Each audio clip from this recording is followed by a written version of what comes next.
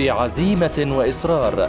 يواصل جريح الوطن محمد توتونجي من حلب. حياته الطبيعية.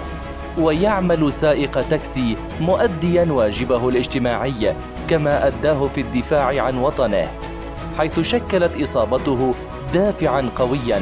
تحدى من خلالها العجز في قدمه اليمنى ليعمل في قيادة السيارة ويؤمن دخلا مناسبا لإعالة أسرته.